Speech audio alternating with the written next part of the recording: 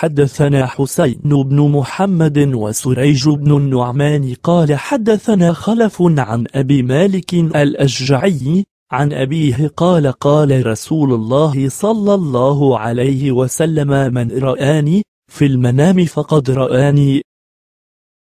حدثنا حسين بن محمد حدثنا خلف عن أبي مالك قال كان أبي قد صلى خلف رسول الله صلى الله عليه وسلم وهو ابن ست عشرة سنة وأبي بكر وعمر وعثمان فقلت له أكانوا يقنتون قال لا أي بني محدث؟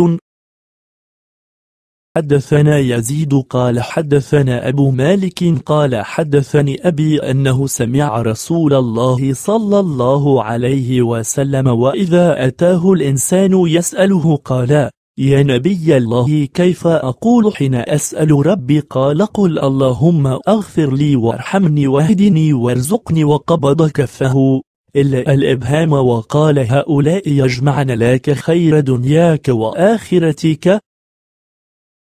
قال سمعته يقول للقوم من وحد الله وكفر بما يعبد من دونه حرم ماله ودمه وحسابه على الله عز وجل.